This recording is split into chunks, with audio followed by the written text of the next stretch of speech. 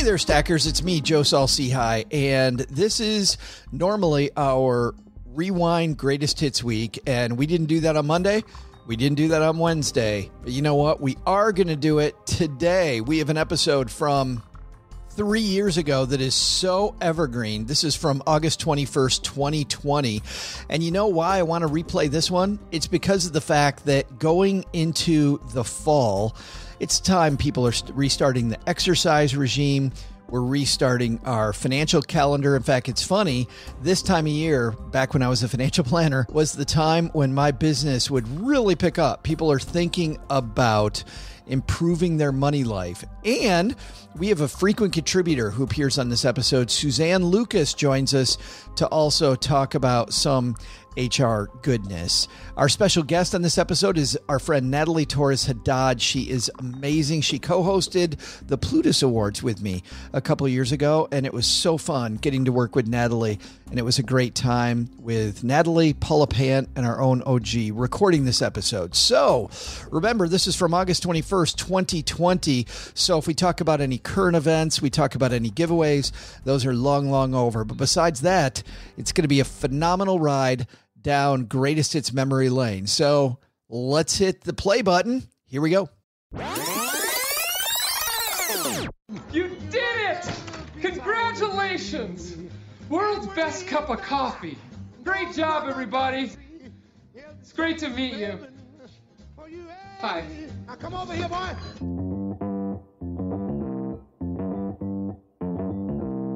Live from Joe's mom's basement, it's the Stacking Benjamin Show.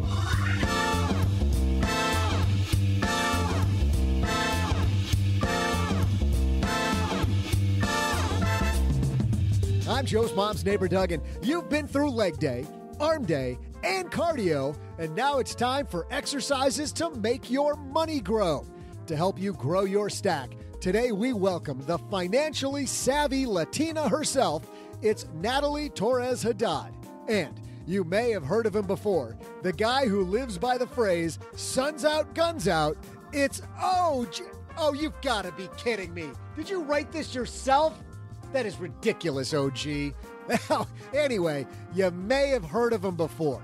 And finally, the guy building the biggest financial doom and gloom empire on earth from lenpenzo.com, it's Len Penzo. And if that's not enough, how about growing your vacations? The evil HR lady, Suzanne Lucas, is back with some fantastic advice on how to think about your coworkers' vacations and your own. Plus, we'll magnify Kelvin's money, who wants to find a way to get over the mental hurdle to enjoy his money more today. And of course, I'll delight you with some of my incredible trivia. And now, a guy whose definition of arm day involves lifting one pint at a time, it's Joe Saul. Well, now that I'm here in Vermont, it's more like three pints at a time. Hey there, everybody. Welcome to Friday. I am Joe Saul-Sehy, Average Joe Money on Twitter, and we have a fantastic end of the week for you today. First of all, because sitting across the table from me, as usual, it's my friend OG. It's a long, uh, long drive over here to to the Vermont basement every week, just so you know. Yeah, but you gotta love it though. All the beer, come on. Six, 16 ounce right- curls. This brewery right around the corner, The Alchemist, has this beer called Hophead, which everybody says is the quote greatest beer on earth. Oh boy. I have to ask you, how can I not try it? Right? oh, greatest beer on earth, I'll pass. No, thank you. So It's like the uh, world's greatest cup of coffee from Elf. I don't remember it. You don't remember that scene? Where he takes he takes the date to the place as the it says the world's greatest cup of coffee and he blindfolds her. And she says he says, What do you think? And she says, It tastes like a crappy cup of coffee. He says, No, it's the world's greatest coffee. Cause that was the marketing slogan or whatever. Because he just believes whatever he reads. Yeah, well, uh, we'll see about The Alchemist. And here, deep under Los Angeles, the man, the myth, the legend, Mr. Sandwich Survey himself, Mr. Len Penzo. How are you, Joe? I'm doing great. I love it here in Vermont. It's a nice place this time of year. Have you been here I- before? Oh yes, I have been to Vermont. Let's see, what what are we at here? We're uh, we're pushing September, aren't we? It's almost there, so leaves should color should be changing here very should be. soon. Isn't that crazy to think? It's a hundred degrees in, to- in Texas. There's no, there is no like leaf changing ever. It's Yeah, same where I live. alive and dead. brown, gone. It's exactly. Well, we I have went droughts. to- we have droughts here in LA, so it's like always brown. Well, there you well, go. wait a minute. You can't go yet. We haven't introduced you yet, Natalie. Hold on. She's so excited, but I do have to say that Ethan Allen. We went to Ethan Allen's house, the great uh, American patriot, and the historian said, I was gonna say that's a furniture store, right? I try to stay Yes, out of don't know. Ethan Allen.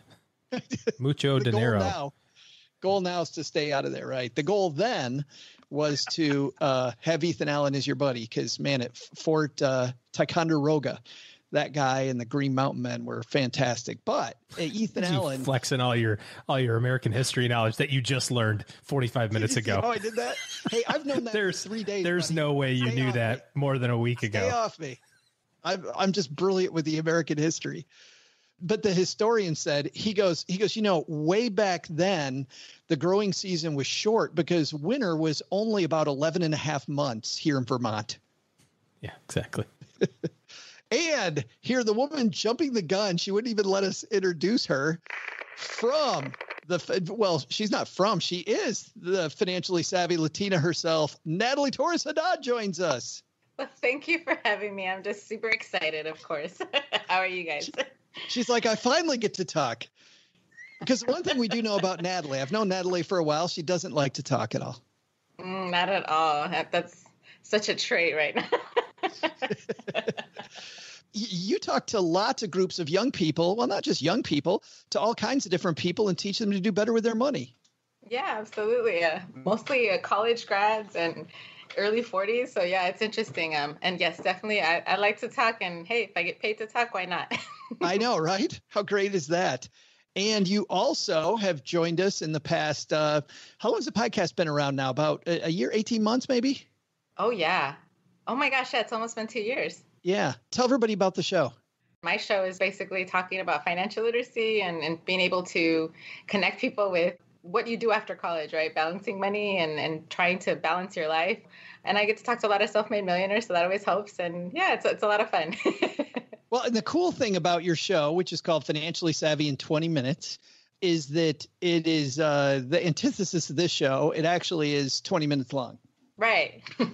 you know, they say millennials, Gen X, they want the, the short stuff, they want it quick.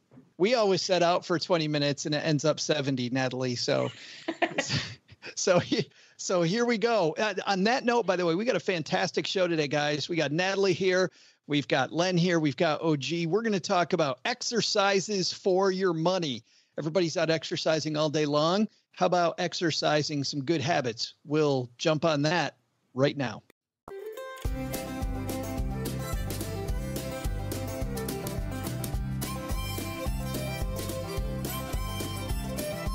All right, our headline today comes from the Beyond Your Hammock blog. It's written by Eric Roberge. And you know what? Kali Roberge is going to read it for us today. Uh, Eric and Kali make up the Beyond Your Hammock financial planning team. And also, they have a fantastic podcast. But here to read today's piece, Kali Roberge. Improve your finances. Five exercises to use to build better money habits. Wouldn't it be nice to finally be someone that other people look at and say, wow, you really are great with money? I'm impressed. Do you constantly find yourself wishing you had better money habits, but you just can't seem to change your day to day actions? Here's the good news you can absolutely transform your current habits and become that person. People aren't inherently good or bad with money, but we do have good and bad habits around our finances, and this is what usually makes a difference between someone who seems to manage money well and someone who tends to consistently struggle. Instead of feeling like you have to change who you are or beating yourself up for what you feel are weaknesses or shortcomings, you can simply focus on building better money habits. Good money habits do take time and effort to build, and it's not necessarily easy to change your behavior, but it is possible.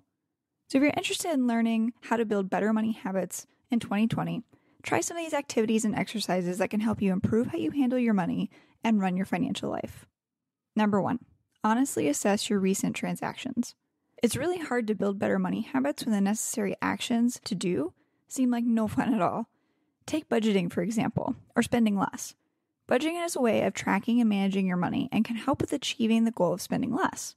But most people associate these two habits with being deprived, losing out on something, or not getting enough of what they want. If you feel that way about a habit, there's not much motivation there to develop it. That's why we often share this exercise with clients to help them mindfully manage their money without feeling deprived or like they can't spend on what they want. Here's how to do it pull up your bank and credit card transactions from the last three months and go through every single line item. Then highlight in green all the spending that you value or that makes you feel good. Highlight in yellow things that you somewhat value, but you don't feel extremely excited about. Then highlight in red anything that, looking back at it, leaves you feeling a little negative or regretful. Now identify all the purchases that you highlighted in red. These are the things to stop spending on immediately since they don't bring you value or might have been things that you regret buying. It's an easy way to eliminate what isn't worth the cost. Next, take a look at what you highlighted in yellow. These transactions are a little harder to grapple with because they might be important to you, but they're probably not the most important line items in your spending. This is why doing this exercise every three to six months can help you get a better understanding of not just your spending habits, but where and how you spend that makes you happy or fulfilled. As you do this consistently, you might get more clarity on what items in the yellow category could be pushed down into the red, and you might also solidify your understanding of what your priorities are, which can help you make better money decisions moving forward. Finally, doing this even once is a great way to bring more awareness to your spending and awareness is a key step in building better money habits. Number two, don't try and willpower your way to success. There are a lot of areas in life that require discipline in order to reach a set goal or accomplishment. Building better money habits is certainly one such area. The people who do succeed in establishing new, improved habits are not necessarily the ones who resist the temptations that would cause them to veer off course. The people who are most disciplined tend to be the same people who simply don't have as many distractions or temptations to deal with along the way. It's not that they're better at turning down dessert when they're trying to lose weight. It's that they don't put themselves in a situation to say no to dessert in the first place. Maybe by not buying ice cream to keep in the freezer, for example, so there's nothing to tempt them. It's not that they're better at forcing themselves to get through a hard workout at 5 a.m. when they're trying to get stronger. It's that they remove as much friction from the process of the get up and go to the gym as possible and automate what they can maybe by laying out their gym clothes the night before or even sleeping in their gym clothes, they can literally get up and just go before they have to think about it. It's not that they're better at naturally spending less and saving more either. It's that they are not frequently in a position of having to turn down impulsive buys or say no to things they would really like in the moment, perhaps by unsubscribing to retail email newsletters and unfollowing social media influencers who often post about products. We tend to think we can just will our way through hard things, but the reality is that willpower only gets us so far because everyone has a limited amount of it, and you can exhaust yours. Instead of relying on willpower, try to engineer your environment, your schedule, and your routine so they don't have to engage directly with so many distractions that can lead you astray. It's not about learning to say no more or somehow push yourself to work harder, although a little bit of that can be helpful. It's more about not putting yourself in that position in the first place. Number three, make better money habits visible and hard to forget. We usually keep our gym shoes by the hall organizer in our entryway. Why? Because we see them every time we walk out the door and it reminds us of our goal to incorporate a lot of movement into our lives. Whether that's a gym workout or an hour skating at the local ice rink, taking a really long walk or a hike, doing some active yoga, some stretching, we have a visual cue to remind us that we want to maintain an exercise habit. You can do the same thing to help build better money habits. Provide yourself with a visual cue that either reminds you of your goals or your intentions, or makes it really hard to forget the habit you wanted to build. For us, the biggest visual cue is a shared budget that we maintain in Google Sheets. We like to track our spending manually and we log every purchase that we make when we make it. That might sound tedious, and it does take some time and effort, but the payoff is that we both frequently, consistently look at our budget and our spending in real time. We're very much aware of how much we've spent, what we bought, and how much money is left to use throughout the month. It's a visual cue that helps us think more critically about our money decisions and supports our efforts to spend in a way that aligns our values and our goals. Here are some other ideas of what you might do to make the money habit you want to build more visual and easier to remember. Get a piece of paper and write down the goal you're currently working on and how much you need to save on a daily, weekly, or monthly basis to achieve it. Stick it somewhere you can see it. Bonus points if it's in a place that could prevent you from engaging in a bad habit instead of the actions that will help you accomplish what you want. For example, you might stick your note on your computer screen so you can see it when you're tempted to do some online shopping. Or you could fold the note into your purse or wallet so that every time you take out your credit card, you're reminded of what you're working toward. If you're more visual, find an image that represents what you want instead of writing out the numbers. You can even make a complete vision board to capture all the details of the things that you want to accomplish and how you're going to get there. Number four, go through a no spend week or month. This is a good exercise to try as a pattern interrupt. If you don't usually think twice about your daily spending, try not spending anything at all. Do it for a day, then a week. See how many days in a row you cannot spend. If you want to take it to the next level, see if you can go for an entire month without spending on anything beyond the essentials or your fixed expenses like bills, mortgage or rent, and groceries. While some people take this to an extreme and do hardcore no spend weeks for the exclusive purpose of saving as much money as possible, I think the most important thing here is the idea of breaking the mindless habit, which is spending whenever and whatever you want, and replacing it with a more conscientious decision making around how and why you part with your hard earned dollars. A no spend week or alternatives like shopping bans on certain items or categories of goods is a good way to practice planning, discipline, mindfulness, and commitment to a goal, which are all necessary ingredients to building better money habits in general. Number five, automate it. The reason so many people struggle with building better money habits or any kind of behavior change, even when the change tends to lead to beneficial or positive results, is because we're human. We're not perfect, we don't live like robots, and making completely rational, best for us decisions every second of every day is not realistic. Often that's because we're asked to choose what's best for us on a broad, overall, long term scale, but we have to choose that in the moment when we'd really much rather prefer something that's best for us right that second. That's why we choose to sleep in rather than get up and early and exercise, or why we select the cheeseburger over the salad, or why we spend what we want now rather than saving for the lifestyle we want in the future. Ideal decisions are hard to make in moment to moment situations, which often prevents us from building better money habits that we say we want. Knowing this, there's a pretty straightforward solution make less decisions, automate instead. Anytime you can pre commit to an action, like having 401k contributions automatically withheld from your paycheck, or automate a decision, like putting $1,000 per month into your long term savings or investment account via an automated transfer that goes through after your direct deposit hits, you make it much easier to stick to the beneficial habit that you want to maintain. Look for ways to build an automation into your financial life so the burden isn't 100% on you to make great decisions 24 7. Hey guys, I want to dive into these individually, but before we do that, by the way, big thanks to Kelly Roberge for joining us. Kelly and her husband Eric run a heck of a practice. You can find their blog, by the way, at beyondyourhammock.com.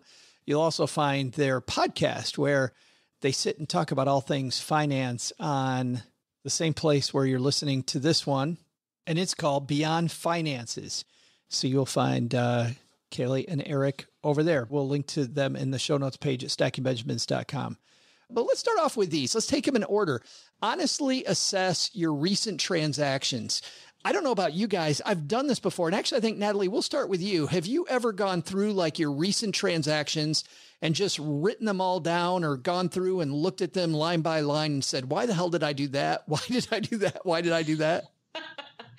yeah, that's like every month. I actually don't write them down. I go through my actual statement. So, like my credit card statement, and I have two different pin colors. So, I highlight what it's for. Like if it's food, takeout, which are my big expenses, uh, especially in LA, everything's like deliverable Postmates. So that's a big one. And so every month I'm like, oh, we're going to cut down, we're going to spend less. And I think that's the hard part. But um, yeah, I think that's really helpful to be able to see it every single month because then you can really track what your kind of your, um, what your habits are really. And for us, it's dinner. We hate cooking dinner, or it just takes time. And even now with the COVID, it's like this is something that we still have to work on. But um, I think it's necessary to see it and, and monthly if possible. Yeah, I want to ask you about that exercise. Do you try to do that the first day of every month, or maybe the first Saturday of every month? Is there a set schedule?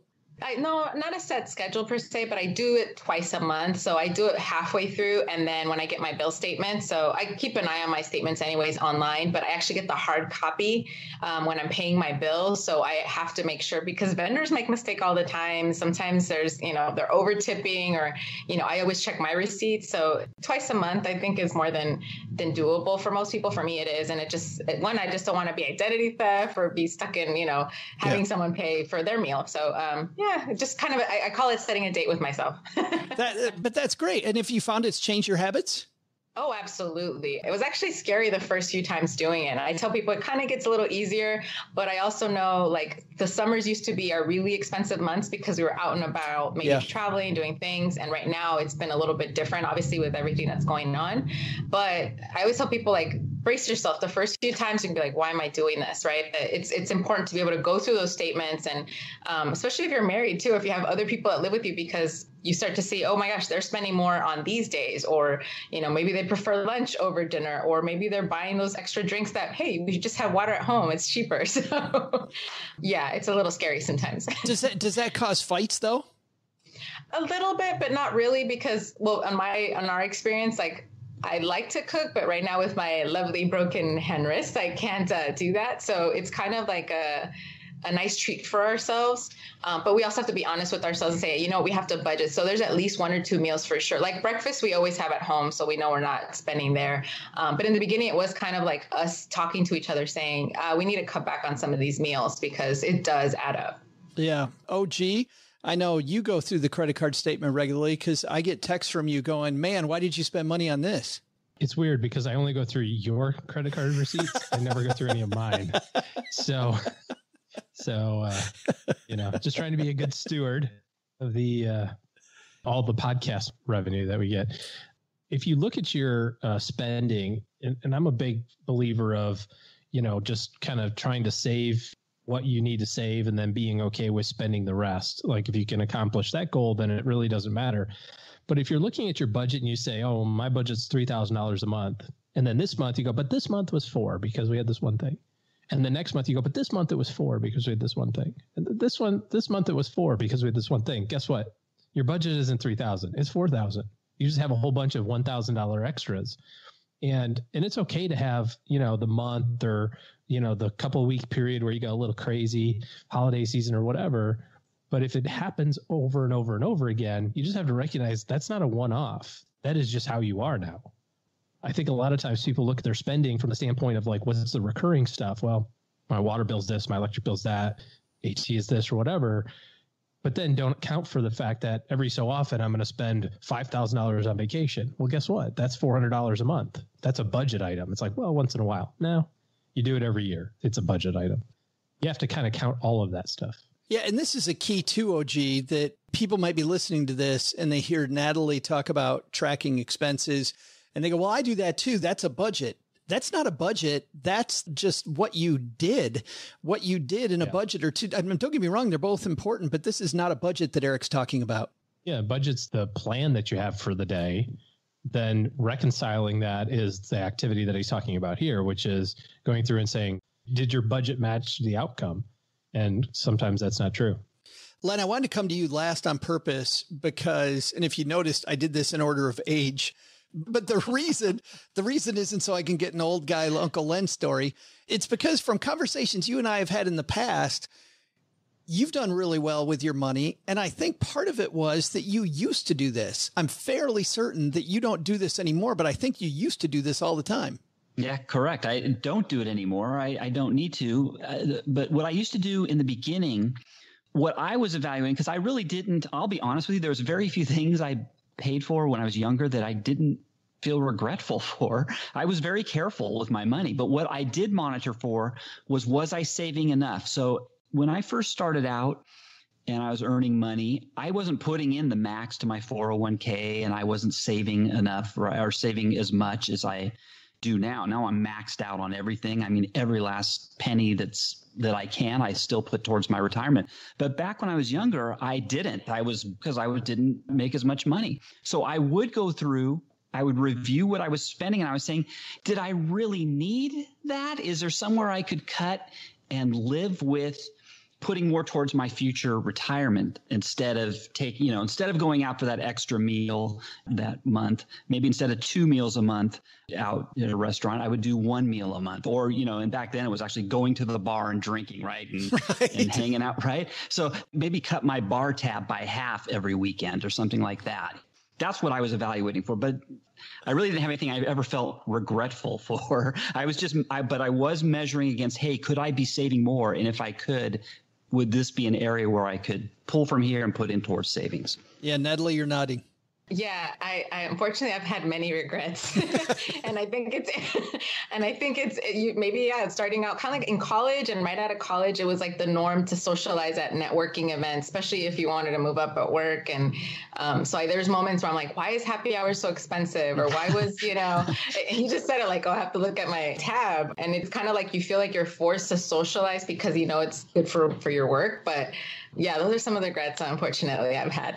Too many. Man, I would remember those days though when I was first on my own and I'm like, okay, either the bar's got to go or the restaurant. I'm like, okay, looks like the restaurant's gone because I got to keep going to the bar. But if but, but if I could find a bar that had popcorn or had, you know, back then would have peanuts, hey, that's fantastic. I get all my all my basic food groups, the the barley, the hops, and the peanuts. Uh, second on here, it's it's funny because Eric has this as an exercise, but I think this is more like the anti-exercise. I remember when I first went into running, doing some stretches, and then finding out later from professional trainers going, "Yeah, that's just you're you're really just stretching out ligaments. You're not, there's no there's no muscle being worked out there. So don't do this." So when he says, "Don't try to willpower your way to success," I think too often, Natalie, people think, hey, I can just muscle through this. And he's saying there's no way you can just muscle through it. You have to have systems. Absolutely. I think that's one of the hardest part is getting past that denial of it, right? It's kind of that I could do it all on my own. It's like, no, I, I have to enlist some of my friends. I have to enlist those people that I'm probably spending more money with. And I think it's kind of that whole, you're implementing something completely new, right? So yeah, yeah, I think that's kind of a, a, a difficult thing not to say because you talk about that, Len, kind of about, in some ways, I think when I read your blog, I think that you talk about the importance of willpower, but really it, it often comes down to logic much more than willpower that you're talking about. Yeah, uh, it's knowing where you're at and then knowing adjusting to reach a goal that you're looking for, right? Because let's think about it. Probably half of everybody out there, there's no way they could probably willpower because they're just naturally, they're just natural spenders they don't have that natural desire to put controls on themselves so much. So yes, that willpower can be guided as discipline. It's just discipline, you know, know your income, know your outgo, know where you're spending your money, and then figure out you know where you have to cut to stay within your live within your means. And of course that also includes part of that spending includes your savings right? So yeah. no you know you have to set that aside too. So it, it, you're right. It, it's knowing where you're at and that overpowers the willpower. Yeah having an actual dashboard it sounds like. Yep. Yeah. Oh gee i want to go to the number three on eric's list here with you make better money habits visible and hard to forget. We've joked a lot about the time that I actually was uh, staying at your house, but you very visibly in your bedroom, like in a spot where you almost trip over, it's the Peloton. And I feel like you put the Peloton there. So you walk by it a number of times. Sooner or later, you're going to get on that thing. Yeah. And I think when it comes to anything to do with money, or systems or process or whatever, making things, like you said, kind of hard to forget. It's not about the perfection side of things. It's just about doing the first step. You know, I don't ever ride my Peloton ever. I just put the shoes on. Like that's my only goal. Put on shoes, sit on bike. That's it. Like if I do those things, then there's a really good chance I'll move my legs or maybe I'll click the thing. But there honestly has been a time where I've sat there for like 10 minutes and gone, yeah, it's not happening and that's okay. you know, you're just like not feeling it for whatever reason. We've done the thermometers, you know, where you're trying to save money for our house down payment when we first bought our house a long time ago. I remember we had the big, the little thing that you had to fill up, you know, try to save the ten thousand uh, dollars. And a lot of that stuff is mind over matter type of thing. I mean, you're just you're just trying to trick yourself. That's all it is. You're just trying to trick yourself. Play the game and set it up to win. But but studies have shown, Natalie, when it comes to tricking yourself, having that vision board in front of you really works. Have you done that with goals? Absolutely. I actually do it every year in November. I'm that nerd that I have my vision board. I'm actually I could see it from here, but I actually used to put it on on my dashboard of my car um, visor, especially in LA. We drive everywhere, and just seeing that picture, especially when I had a lot of student debt, I was uh, I didn't want to I, there's days that I didn't want to work because I was like, I'm gonna have to work to pay off more debt. But then I'd see that picture, I'm like, hold on. My point was because I wanted to travel, and I had a picture of that next destination. So that was actually really helpful. It's kind of like the thermometer, like like Josh was saying, but it's like I think for me it was seeing that visual, like it's gonna get there. And then when I accomplished it, I put it, you know, on the side. It was awesome. well, can I ask you, since you can see it right now, what one thing is on your vision board right now? Yes. Some I'm not big on shoes, but there's these boots that are artistically designed, so I have to actually get them made. And so, you know, you know, designers usually that they ask you a few a few months. So my goal is some cute boots. They're just like art all over it, and yeah, I'm looking forward to that. That's so funny you say that because Len's got some cute boots on his vision board too. no, no, I've got some pink leotards though. Perfect dancer here. Number four, I was wondering, Len, sticking with you, Kali talked about going through a no spend week or a month. Have you tried one of these before? You know, lately, the last few months, it's almost been uh, so easy to, to not have to. I mean, honest to goodness, uh, just the restaurant bills alone. I mean, we used to go out once a week to, a, uh, you know, have a nice restaurant meal and that's gone. And I was just talking to the honeybee about this. I, you know, we're, we're probably saving $400 a, a month just because there's nowhere to go. It's kind of sad. I have been sad since we've been here that we haven't been able to do a meetup and we're not going to do one with all the stuff going on. I've people from Vermont write me and say, Hey, let's get together. And, and that's just not going to happen with this stuff. But we did when we went to Burlington, we sat outside at this uh, wine bar. And to your point, Len, Cheryl and I both had one glass of rosé we had two appetizers. One was a really good butter that you put on sliced radishes that were fresh. They were really fresh. and then the other one, I love OG's look like radish. You lost me at radishes. And then, and then we radishes at my grandma's house all the time. Pickled radishes.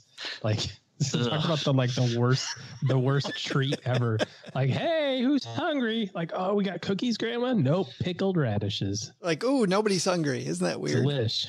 And then the last thing that we got was a little cheese tray with three different cheeses. So three cheeses, radishes and butter, two drinks. What do you think the bill was, Len? Uh, say it again. Radishes, two drinks, and what else? R- the radishes and butter, two drinks, cheese. and the three cheese tray. Oh my God. I bet you they're trying to make up for lost. So I would say the drinks were, these are alcoholic drinks, right? They, they were rosés. Uh, okay, so I'll say two girl 30, drinks basically. I'm going to say fifty-five dollars. Sixty bucks. Yeah, yeah. That, that was without tip. Without tip. without tip. Yeah. Right. Yeah. Joe's known for at least being a five percenter. So, right. Right. Oh. That was another three dollars. Came out as sixty three fifty because she was nice to me. OG mm-hmm. threw in the extra fifty. No, that's put them on quarters too, didn't you? But it's wild that you go back to a restaurant with the few times you go and you're like, man, to your point, it is so, so, so expensive. Uh, Natalie, have you done one of these no spend weeks or months? Yes, we actually did a week. We tried the month and within the week we already had broken it. And it's the avocado toast or something that we really like at brunch. um, we were that cliche, but it's it was you know what it was i think after a couple weeks it was just we felt so limited and i think we, we just had to decide like where do we need to cut back on other areas to make it a little bit easier but it's definitely not easy when you're going out and now that we're home it's we're becoming a little pickier because we have a lot more options yeah but these no spend challenges really are fun even when they don't work out i mean i'm sure until that happened you still saved a bunch of money in terms of some priorities yeah, even just a few days. Like that's why I was like, we tried it. Like I said, the second week it just wasn't working. We're like, can we do it two, three days out of the week? Made a big difference. And the last one on here, OG, I think we'll go to you, partly because you and I talk about how this is magic so often, but automate it. Automate it. How big is this one? Yeah, I mean, again, it's just back to that whole thing about trying to trick yourself. If you can figure out a way to set the game up to win, you're more likely to win it. And this is increasing your 401k contributions by 1% every six months. It's unnoticeable to your paycheck. You will not notice it. It's been another six months since the last time you did it. You should do it again. It's making sure that the money gets taken out of your check and goes into your HSA or goes into your savings account or your investment account before it goes to your checking account. Because all that stuff is just our lives are going to expand into the money that's there. And if you can trick yourself along the way and use technology to help it, um, you'll be better off for it. Let's do our takeaways from this piece and money exercises in general. And uh, Natalie, as the guest, will give you the last word. So, Len, you want to kick it off? What's our takeaway here? Oh, gosh. Uh, on this one, I guess I'd say there's a lots of tricks out there for you to help yourself if you're having trouble with your finances. It's just, it's just, you've got to look at things differently. But, uh, you know, don't give up hope. There's lots of ideas out there. Oh, gee trick yourself. That's uh I think he said it 47 yeah. times now. Yeah. I think if you think about this like a game and think about it like how would you cheat to win? That's what you want to do. Cheat to win. Spoken like an OG. Natalie, you've got the last word. Uh, make it visible. Just making it visible, having that, like whether it is a vision board or taking out a few you know, cut the cost of going out once a week or something. But yeah, make it visible.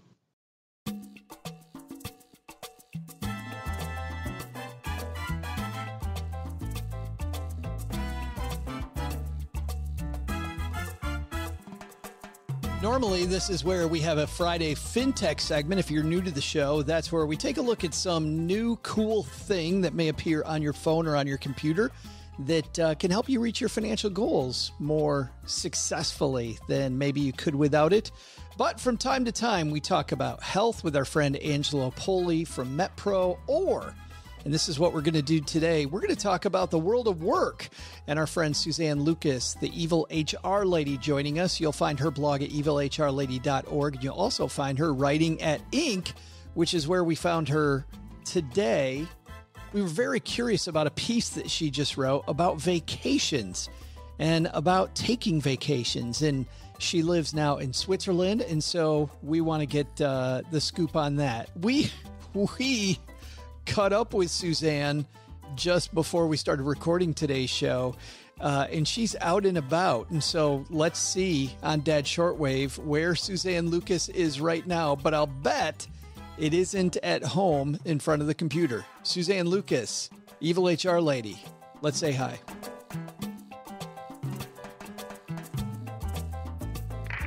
And on my dad shortwave from an undisclosed location where she's on her portable shortwave radio in Switzerland. It's our good friend, the evil HR lady, Suzanne Lucas, is back. How are you? I am great, and my undisclosed location is next to sheep. So, how much better can you get? Well, if this gets boring, you know, just uh, having a sheep uh, blot every once in a while, I think that really spices up the show. Well, yeah, absolutely. What more can you want in life? Hey, I got to ask you something uh, that is very funny. I follow you on social media. It is so fun following you. But you you had this Swiss candy, I think it was, that had just the worst name, but I don't remember the name. It was something like Barfy. Yeah, it was Barfi, Barfi Sweets. And it's not Swiss, it's Indian. But there is in my town an area called Barfüsserplatz, which means barefoot um, place. It was where monks used to live. There's an old church there. And next to it, there is a cafe called Cafe Barfi. And I don't care how good its reviews are, I am not going in there. Something, Suzanne, gets lost in translation there. Yeah, yeah. I mean, the funny thing is that everybody speaks English, so they should know better. But there you go. Yeah. Speaking of something that gets lost in translation, when it comes to different cultures, different cultures take vacations differently. You wrote a great piece at Inc. recently that's about vacations and about how Europeans take vacations. D- describe to me that vacation culture, Suzanne. Well, it's so different from the US. First of all, because people have a lot more vacation time than in the US. I mean, by law here in Switzerland, you have a minimum of four weeks of vacation plus holidays. And a lot of people have five and six weeks of vacation. So you can take the time to go somewhere big or do something. And this summer, you know, people aren't going as far afield, of course, because you can't but people are still taking their three, four week summer vacations. Whether they're just sitting home or they're going somewhere, people go. And that's pretty much European culture. And a lot of places, things just shut down in August. They just completely shut down. There. They just completely shut down. You know, small businesses, this is the craziest thing to me. I will see like a restaurant, they'll be like, we're closed. and they're like, this is high tourist season. But that's their vacation time too. So off they go. Well, but this is a good look because what I thought, and the reason I wanted to talk to you about this is that often, especially if we're somebody working with coworkers or we own a business, we tend to have this idea we get a little judgy of other people right? Why aren't they more like us? And i think your piece here makes a really good point that maybe somebody's culture is a little different than yours and maybe we need to sit back and look at maybe this is actually a good thing. I think it's an excellent thing and not just because i love vacation and love to travel which i do but you really can get a break. I mean, so much of American culture is I'm on vacation, but I'll be checking my email every morning and I'll call into any meetings and I will stay caught up. And while my kids are playing in the pool, I'm sitting on the side with my laptop. And European, and we'll qualify that Europe is a huge, diverse place, but it, European culture is far more I'm on vacation, I'll see you in a month. Bye. That's it and off they go. And people are accepting of that, which is amazing. And I think a big aha there is that when when you look at at companies though, you don't see people actually lose uh, a lot of productivity because of that, Suzanne. It seems to me like telling your employees to just go and get away actually helps them be more useful when they're there. I absolutely think that's true because you have this ability to step back and to refresh. Um, one of the things that we really saw during the shutdown is that everybody was working from home, which sounds fabulous. But if you're not used to that, you don't have good boundaries. And people were just working all of the time because they couldn't get away from it and they were burning out. And it's far, far better to be like, I'm done and now I'm going and go on your vacation, relax. I mean, here's the thing it's not as important as you think it is. And businesses continue to exist even without everybody there all the time. It is one thing for you to say that and for me to hear it. It's another thing for me working for a boss to tell my boss, hey, I probably don't need to be checking my email all the way through my vacation, even though I know my boss thinks that's what I need to do. As an HR person, how would you propose that somebody listening to this, Suzanne, bridges that gap? If I've got a boss that wants me to check in constantly during my vacation, is there a right way to tell them that I probably don't want to do that? Well, the thing is, is that for some bosses, there's never going to be a right way. And I wish I could say that there was, but there's just some bosses that will never accept that. And that's just all you can do. And in that case, it's time to find a new boss if this is something that's important to you. Might be amenable to it. You can talk about a couple of different things of the benefits of taking a long vacation. One is like we've talked about, is it's this huge relaxation thing. And when you come back, you're not stressed out and you're ready to go. You've had true time off. Another thing, which is not necessarily something the boss, your boss, but you can get the HR lady to bring up, is that having people go and be disconnected from the company for a week or two at a time is a huge fraud prevention activity mm. because most fraud requires you to monitor it constantly. And if you're not checking your email, you're not logging into any of your systems, and somebody else is taking over your responsibilities, it's going to prevent fraud or catch it if you're doing it. That's not really a good thing to say to your boss, like, hey, if I go on vacation, I'm less likely to commit fraud. but, but that's a great argument for your HR department to. Uh, that's awesome. Don't, don't say that. yeah, yeah. Not if you like your job. Please, please, please don't say that. I want to ask you a different question, Suzanne, about something else that you wrote about at the Evil HR Lady, because there's taking a vacation and how cathartic that is. But there are also still are companies. In fact, we did a, a story recently on our Money with Friends show about the number of restaurants that shut down because of COVID that have permanently now shut down if you think that you're going to lose your job, that you might be laid off, you got this great question about should you quit before a layoff? And I was wondering, we've got more people listening to this that might be in that situation than ever before. What do you tell somebody about quitting versus being laid off? Here's the deal with that you don't want to quit until you have a new job. And some people, depending on whether you're going to get severance or not, and severance is not legally required in the United States, except in some specific cases like a union contract or um, they're shutting the whole thing down with less than 60 days notice.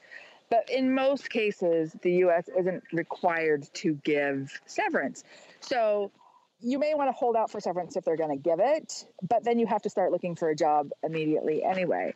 My advice is always the same, which is keep going and look at for a job at the same time. Best case scenario is you find a new job that starts the day after the official layoff, and you get a severance package and a new job, and then you get a boat. Um, you pay down your student loans. Right. One of them. So that's the best thing to do. You don't want to quit. A lot of people will say to you, "Oh, it's far better to have a resignation than a termination." On your record. And there is a little bit of truth to that, but especially in this climate where so many people have been laid off for COVID reasons, nobody's going to bat an eyelash about you having been laid off. And then the other thing is if you quit without another job lined up, they're still going to ask you, why did you leave your job without another job lined up? It doesn't make you look spectacular that you did that. Sometimes it can make you look a little bit flaky. So definitely do not think that you owe the company that you're with a long service period. Just, you know, they've been so good to me. I'm going to stay till the bitter end. If you find something else, leave. They they don't care about you. I'm sorry to say, but they don't. And as soon as you're not valuable to them, you're gone. So as soon as they're not valuable to you, you need to go too. So look for the new job. Hopefully, you'll be able to find one and because if you wait until you've actually lost the job, it's going to also take longer to find it. Plus, you're competing against your coworkers that have also been laid off. This seems like a great time. I mean, don't get me wrong, every time's a great time to keep your resume and your LinkedIn profile up to date. But man, Suzanne, this seems like if there ever was a time to make sure your LinkedIn profile's up to date, it's flipping now. It's flipping now. And the other thing that's really good to do is to bump up that networking before you're desperate for a job um, because people don't like it as much when you're like hey bob haven't seen you in seven years. Are you hiring? Uh, they'd much prefer you saying hey i was thinking about you today and then in a month you're like hey I, you know i suddenly found myself without work or i've decided to change paths. I mean i'm always going to help my friends out with jobs and my former coworkers if i possibly can but some people aren't as nice as I am. Well, Suzanne, I have to say, great advice is always. That's number one. But number two is we also know it's great advice because we didn't have to go to the sheep, which which means it was a successful segment. It was, and they didn't make any noise. So there you go. See, they're boring anyway. So people can find you at evilhrlady.org. And uh, you've got another fun piece about if you've 80 internship candidates and not one's good enough, you're the problem. I would say that might be true too. That's a good one. Go read that one. well, Suzanne, I'm glad that we could catch up with you while you're out and about in Switzerland. I feel so bad that you're, you know, eating a beautiful barfy candy. yeah, my barfy candy. Have a great day. Thanks for hanging out with us. Anytime.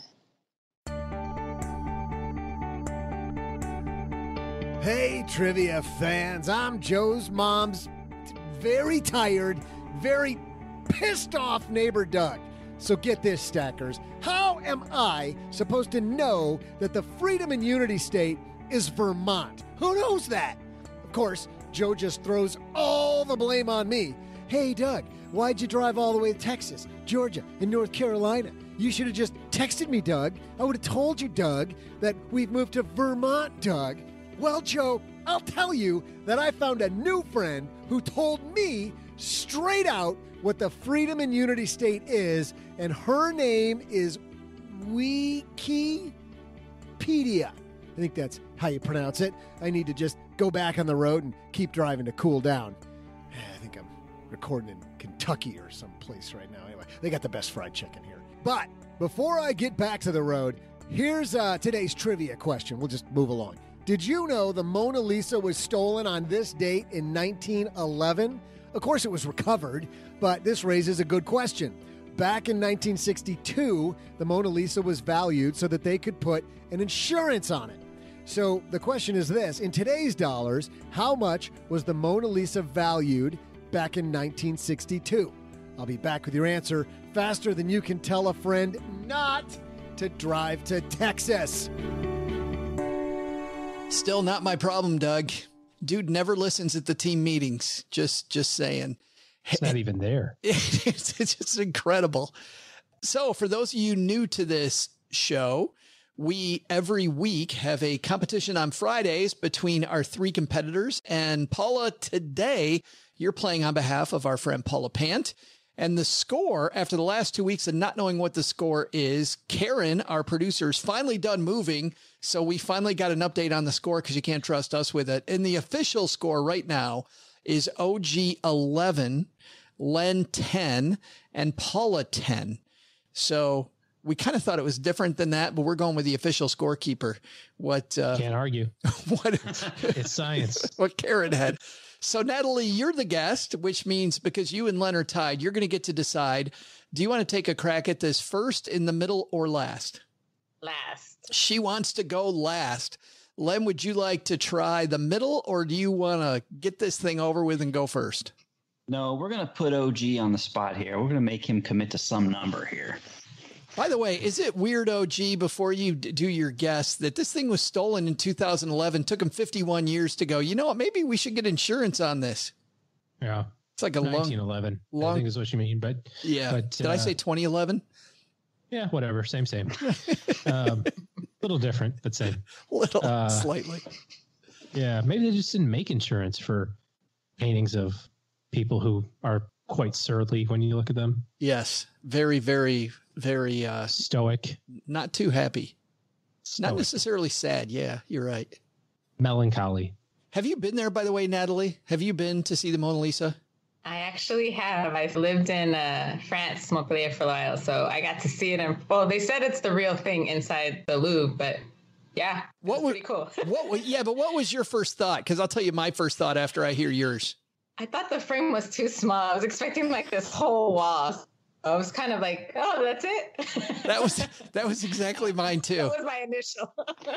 yeah. You go down that long last hallway, it's way in the back, and you get down to the end of that and you turn, and here's this little tiny postage stamp picture on this big white wall.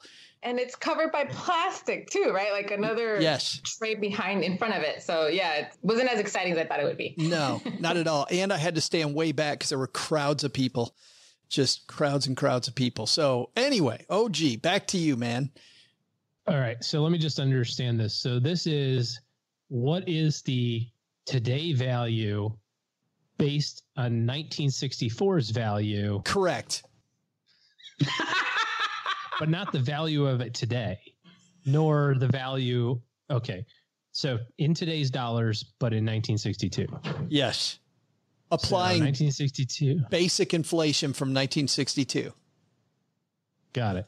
So 1962 till now has been at least 20 years, uh, 30, 40, 50 ish years. Well, you were born in about 1962, right, Joe? So it makes you almost 60 years. So just regular inflation doubles that number twice, give or take, maybe a little more then. But it's not the value of it today. It's the value what they thought it was worth in 1962 That's right. plus inflation. So, what was a lot of money in 1962? So, like five million dollars in 1962, because it's now probably worth like a hundred million or something. Five hundred million. Well, let's put it this way: a millionaire was actually impressive back in 1962. Wait, it's not impressive now. Not that impressive. Uh, womp womp womp. Oh, wait a minute. Hold on. Hold on. Hold on. Yeah. Hold on. Nope, not that one. Hold on. I was gonna say I've got that little button too. I can push it. Uh, all right, let me think about this. So I'm gonna say it was worth a lot of money. Five million. I'm gonna say that in today's dollars, adjusted for inflation, uh, uh my, I'm gonna say uh, 31 and a half million Thirty-one and a half million dollars today. today. Len, what are you thinking, man? I have no freaking clue, none whatsoever. Wasn't that Steel Rabbit? What was that artist's name? He made that Steel Rabbit that sold for I think it was the biggest art piece. It was the biggest selling art piece ever. Uh, that was only like last year. Do you know what I'm talking about? What's that guy's name? You know the big like a titanium rabbit looks like a balloon. Jeff Oh, do you remember? Koons. That's Jeff Koons, Yeah, Jeff Koons. Yeah, remember that? And, and what? Let's see, what the heck did that thing sell for? I thought that was like a hundred and twenty-five million dollars or something. So that's today, roughly. Now, is the Mona Lisa more valuable than that? I would say absolutely. I'm going to say seven hundred and fifty million dollars. 750 million. So just a slight difference from what OG Wide had. berth there. Yeah. Yes. So Natalie, you've got a wide range there between uh, Len and OG. What do you think? I wish I was more into arts to be like, yes, that's exactly how much I'd pay. but you know, I hear it so referenced in so many movies and books. And since 1962, I think that would definitely bring up that value. So I'm going to go with 250 million. Yeah, let's go with that. $250 million in today's value. All right. We'd love to tell you exactly uh, who's closest, but of course, we have to make you wait. So we will tell you in just a minute. All right, OG, you kicked off things with $31.5 million based on what Natalie and Len said. You may be you may be slightly low here, buddy. Just a bit outside. Yeah. Maybe. And Oh, uh, well. Natalie Or I'll be right on the number. or you will be. Natalie, you're at 250 million. You feeling at all confident about that? Not at all. And and Len, you are the complete other side up there at 750 million dollars. What are you thinking? I have, I really have no idea. I, I mean, this is, I'm going to learn something today. Uh, by the way, well, you know what? I'm going to save it. Uh, let's uh, call Doug up, and because he's the guy with the answer. Well, if you're like me, Stackers, our team is uh, laughing as I'm saying this because they we were just talking about this, weren't we? That a busy fall schedule doesn't leave you much time to spare. I am headed to Bali. I'm headed to New Orleans. I'm headed to Denton, Texas. Heck, I've already been there by the time you hear this. I am going so many places with HelloFresh. You don't need to spend all evening in the kitchen to whip up a wholesome meal with their quick and easy recipes and 15 minute meals. You can get a tasty dinner on the table in less time than it takes to get takeout or delivery. And it's healthier, it's fresher, it tastes so much better. And HelloFresh is more than just dinners. You can also stock your fridge with easy breakfast, quick lunches, and fresh snacks. Plus, you can shop a HelloFresh Market and add any of these tasty time saving solutions to your weekly box. You know, it's funny. The thing for me about HelloFresh isn't just the fact that it's there. I don't have to worry about making sure I've got the right ingredients, a last minute uh, shopping spree to get the things. It's also this. At the end of my day, if you're like me, you really love what you do. I get to the kitchen and my brain is still working on financial literacy. I'm still working on how can we make a bigger impact? What can we do to help more? While that's great, I have to remember that this is a marathon and not a sprint. And I've learned from coaching that you need to have time away. And I got to tell you, nothing, nothing separates work with real life like putting a knife in your hand, turning on some music, and cutting and following a recipe because you have to be completely there for it. And that's what I like about HelloFresh is that while I love everything about the ingredients, the price tag, the convenience, the fact that I can focus on what's important to me and still eat healthy, it's also that I get myself out of the day, which is amazing. So here's the deal, stackers. If you go to HelloFresh.com slash 50SB and then get this, use code 50SB, you're going to get 50% off plus 15% off the next two months. So that's HelloFresh.com slash 50SB and use code 50SB for 50% off plus 15% off the next two months. Great way to start trying out HelloFresh, America's number one meal kit. This episode is brought to you by Google. The Google Cybersecurity Certificate provides the necessary skills to begin a career in cybersecurity. Visit safety.google forward slash cyber workforce today. Hey, trivia fans. Looks like I'm actually not in Kentucky. I'm uh, in this place called the Buckeye State, which brings up a question. Why do they call it Kentucky Fried Chicken, but I'm recording this from their parking lot in Cincinnati, Ohio? I don't get it. But anyway, things are good here in the Buckeye State or wherever the hell I am now that I'm just over halfway into my 27 hour drive. I just might have to start rooting for Ohio State after this week that Joe's put me through. Never! Can't do it. I've put about a million miles on the El Camino this week. How's it supposed to hold its value, Joe? Now that I have only 12 hours left on my trek across the continental United States, let's get you today's trivia answer. Question was In today's dollars, how much was the Mona Lisa valued at back in 1962? Well, back in 62, the Mona Lisa assessed the highest ever insurance value for a painting, a whopping $100 million. In today's dollars, after inflation, that'd be 850 million. That's a nice little chunk of change for a lady who doesn't even actually know how to smile. On that note, it's time to force a smile through the rest of this road trip. I'm pretty frosted here, Joe. Yes. Gotcha, OG. Yeah. $100 million for a little teeny tiny picture. Okay. I'm in the wrong business. I mean, how big is that thing for really? You said it was small. I was like, What do you think? because I've never seen it. It's, I always s- pictured it as being a huge picture. 30 by 20, Len. 30 by 20. That's nothing. Yeah, it is truly small. And the fact, the fact, Natalie, that they have it by itself on that huge wall as well makes it even look smaller. Right. Yeah. Right. And you're so far away because you probably have at least 100 people in front of you, too. And I don't know about you, I didn't feel like pushing and shoving to get up closer. I was like, oh, okay. I was like, moving on, side. exactly. Yeah. So Len takes the day, moves into a tie, and uh, the battle's heating up here as we get ready for fall. Very, very interesting. So big congratulations to Mr. Penzo. Can't wait to see where this game goes next week. But for now, guys, let's take out the magnifying glass and help somebody do better with their money.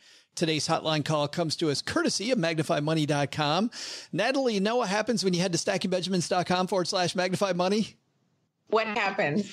get this you find out that those financial products people use at the brick and mortar bank nowhere near the best in class there's so many online banks and products out there. Over 92% of them all online rated head to head against each other at magnify money. I like the fact by the way that uh, regardless of whether they're affiliated with magnify money or not they rate them all. And you can see the four point rating system they use. It's very straightforward.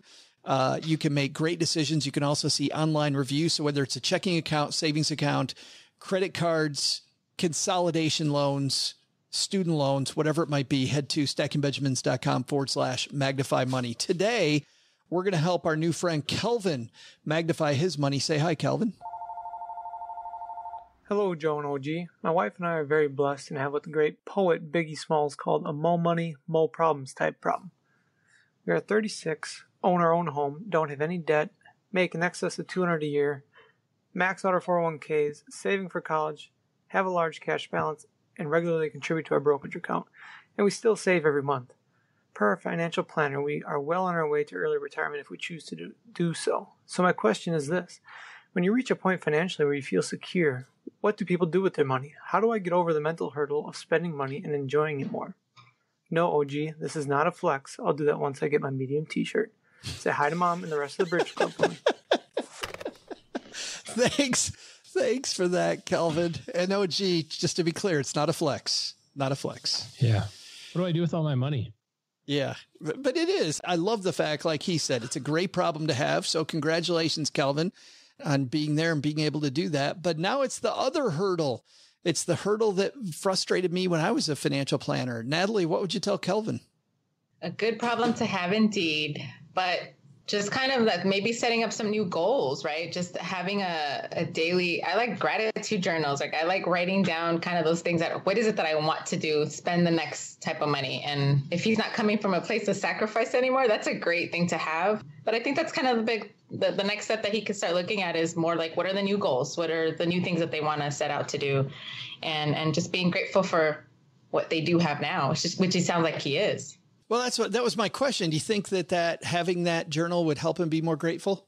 Absolutely. I think many of us hit plateaus when at the beginning, maybe when we did have debt, and then when we don't, it's kind of all of a sudden you don't know what to do next. And I think kind of having that reminder every single day, like, can you list five things that that you have now that you didn't have before, and then also maybe start maybe writing two things down that you want to accomplish you know, with the next uh, certain amount of money, maybe you hopefully he wants to keep growing, which it sounds like he does. And so I think that's extremely helpful, and especially if you ever come across those moments where you're kind of like, all right, what next, right? We want to have more, more, more, more money, more problems, as as he said it well. yeah. Gee, I want to turn to you next because this is why I used to tell people that the getting out of debt wasn't a goal because every time somebody would get out of debt, they'd have no idea what to do next. So what they do is go buy something big and they were back in debt again, right? But there's that's the one thing. There's got to be some real goal there. I was going to say because that's the one thing that you know how to do well. Right. I know how to get out of debt. So if I get myself back in, I can get back out. Speaking of flex, yeah. right? Yeah, Watch exactly. this. The uh, the challenge with once you know you start checking off financial goals and you go, well, I'm on track for retirement. I'm on track for college savings. I'm on track for debt payoff. I, you know, and you go, well, and I still have money. Now what? Now I just aimlessly put it into a brokerage account? Yes and no. I think you have to have a purpose for it. So make the goal a little bit more challenging. If you're on track for early retirement, la di da. So what is that? 50? Try to retire by 45.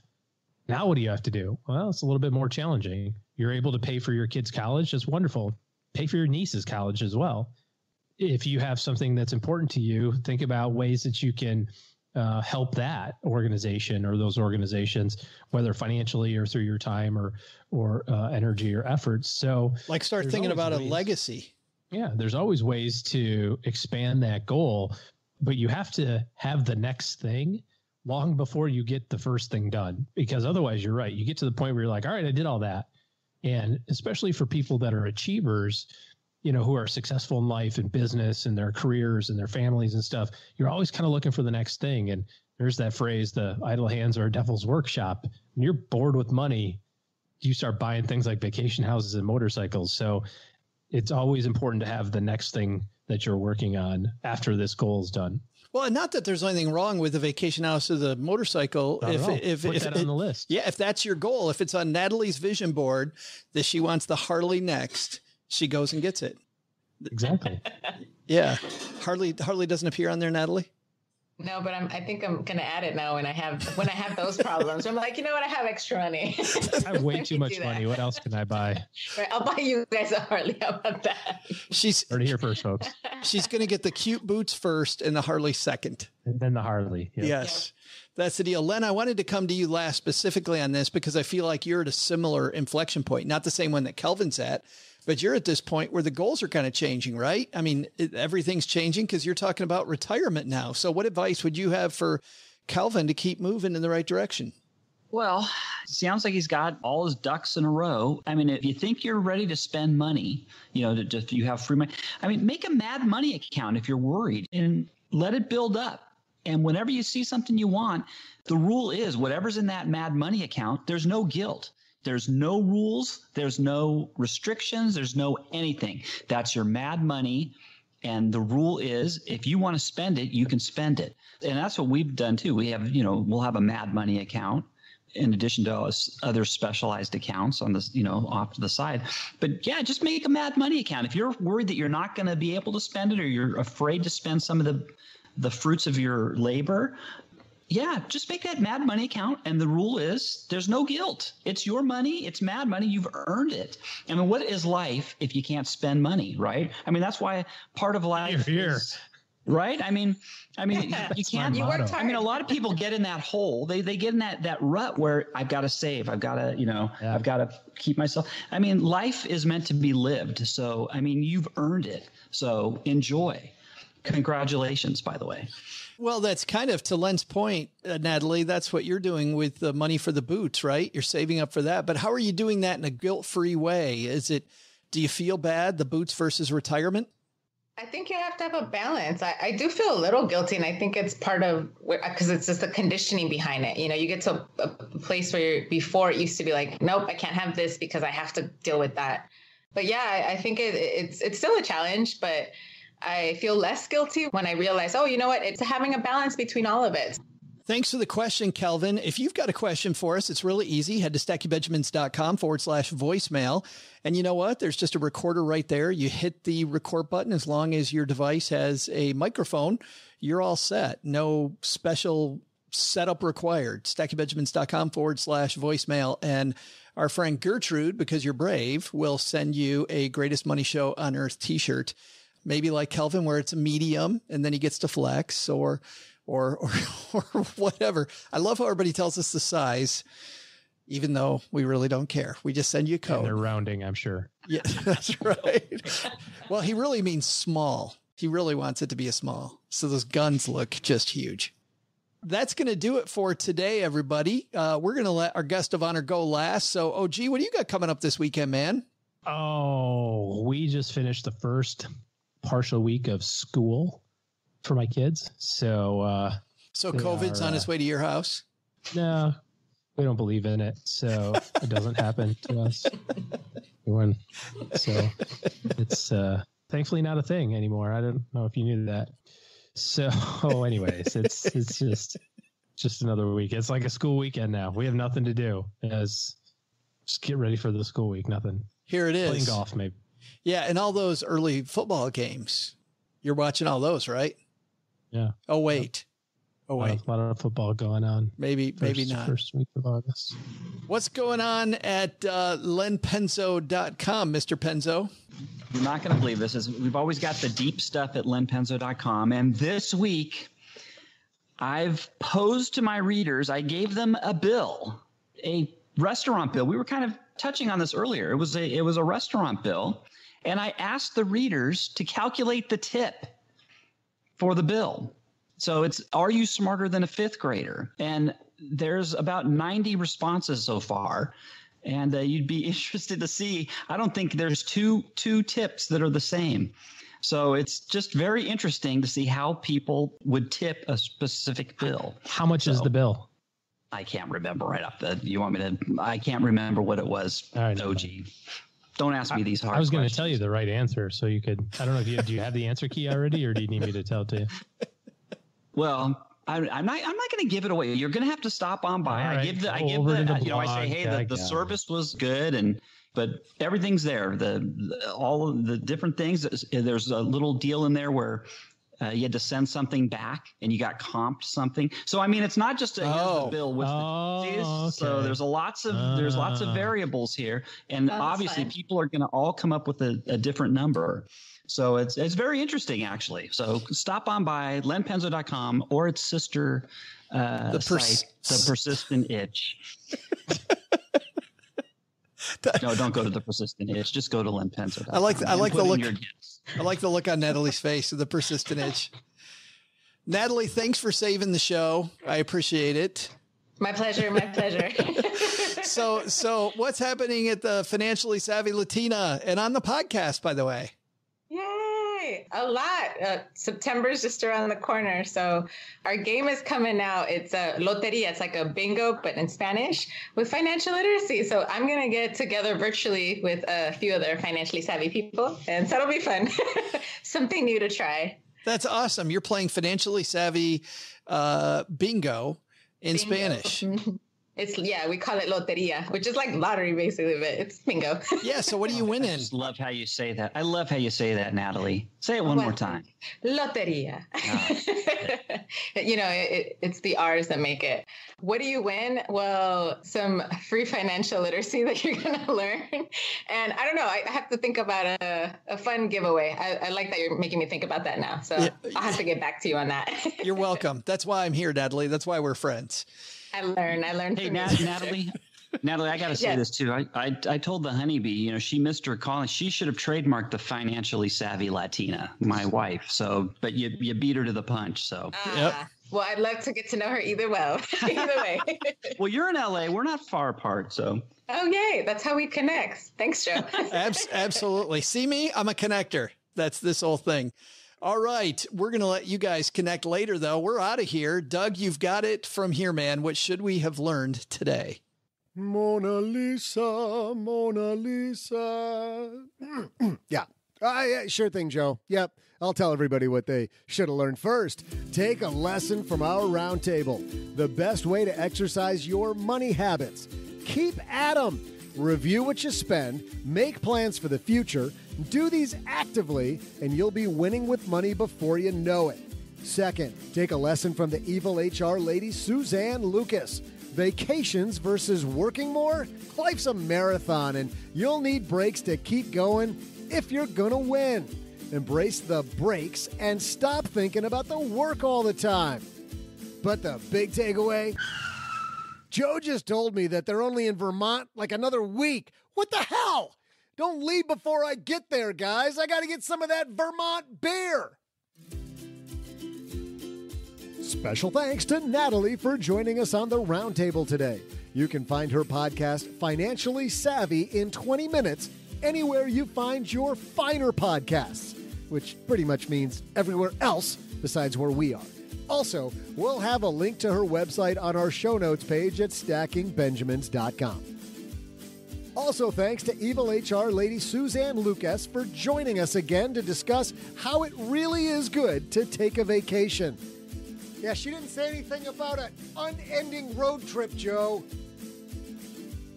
Len Penzo appears courtesy of lenpenzo.com and theangelofdarkness.com. This show is created by Joe Saul-Sehy, produced by Karen Rapine, and engineered by the amazing Steve Stewart. Online, visit us on Twitter at SBenjaminsCast or on our Facebook page. I'm Joe's mom's neighbor, Duggan. It appears I've fallen and I can't get up. SB Podcasts may receive payment on the show from sponsors and guests in the form of books, giveaway items, discounts, or other remunerations. That's a big word. There's no way you take advice from these dorks, but like Joe's mom always says, don't take advice from people you don't know. This show is for entertainment purposes only, and before making any financial decisions, consult with a real financial advisor.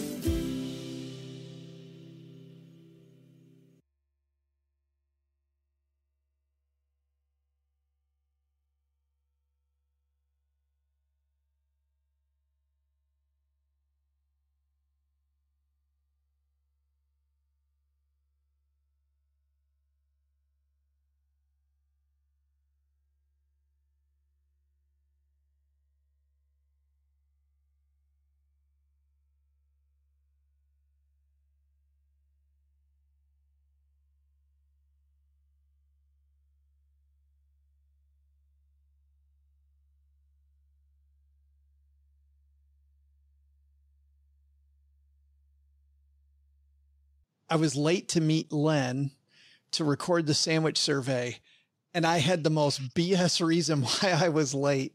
I felt so lame. I'm like, hey, I, really shouldn't tell you why I'm late for this recording. I got stuck in a long line at Ben and Jerry's headquarters getting ice cream. I think that's the best. Hey, that's a great excuse, man. Like I'm a chunky monkey lover, so you know, I I would have done the same thing they don't have they don't have it open for tours, but they do have open to get ice cream. So I got the New York Super Fudge chunk. I was going to say New York Super Fudge chunk. Yep, that's yours that's too. too. Yes.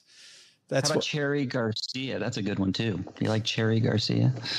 You know, last week was the anniversary of the death of Jerry Garcia. By the way, Len. Is that right? Too bad we don't have Paula here, so we could uh, ask her if she knew who knows who uh, Jerry Garcia was. Y- yes, Natalie. Did you watch any of the uh, PGA Championship and all the outros for the on the commercials were all like all all the music from San Francisco from like the 50s through the 80s. Oh my god, would that be cool? And they're like they're like whoa, and like all those guys are just jamming on like. This is this is the greatest Janis Joplin song ever, and people are like, "Yeah, dude, you're super old." but it was really good. It was cool. Like they had, uh, I think Grateful it was Grateful Dead's out of San Francisco. Yeah. Oh They yeah. have had- they might- Yeah. Oh they might have had them. Sorry. Yeah, Uh, sure. Natalie, what's your favorite uh, Ben and Jerry's flavor? Ooh, you know, I like the classics, the Rocky Road, um, mint chip. The funny one is the peanut butter. Oh, I can't remember the name of it, but they're also good. And I did go to Vermont, and I remember going to their headquarters, like the best anything. It's cra- it, it, it's going to be a problem, Natalie, because it's like five miles down the road. So I told Doesn't I sound told like a problem to me. oh, well I told Len you have to support. I know. helping the economy. My mom says when you're on vacation, if you don't come back a little heavier, that means you didn't have a good time eating good food. So Well, that's Feel bad free. when I'm living here for a month. That's not good. Between Let's that, shout out to Ben and Jerry. They still maintain a pint, right? They still have a pint ice cream. They don't cut it down to 15 ounces or whatever. yeah, they're not uh, uh, sissies like the rest of them. Hey, Like Häagen-Dazs. yeah, step up and do the pint. Come on. It's all about the. And of course, whenever I get a pint at the grocery store, I think to myself, I'm like, you know what? I'm just going to have half of this. One serving. and That's then like the half gallons for Bluebell. you get, Well, no, they are. They're the they're still half gallon ice creams. yeah, but you get done with a whole half $8. gallon of uh, what's the the Great Divide, my favorite Bluebell. Yeah. You get No, done with a half can't. gallon of that at one sitting. You're just full of shame. just, just a, I ba- don't think you can eat a half gallon ice cream in one sitting, can you? just a I mean, bad maybe day. you can. Hey, I'm not a quitter, man. I am not a. By the way, between that, it must get really damn cold here because also the amount of beer they have here. It's ice cream and beer, like every place. It's ice cream and beer. Like I craft beer ev- every two miles down the road. I think every person who lives here, like to get in the state, you have to brew your own craft beer. Like you got to show the fact that, hey, can you brew beer? I'm sorry, you can't get in. I don't know. yes. I remember I remember them having like the best sandwiches, um, just the little delis. But yeah, you're you're in a and thrift thrift shopping. That was like the big, especially in Vermont. So you're, you're in for a good month. At least you'll keep yourself busy. I, I, I will keep myself busy, but I might also be super duper fat and broke.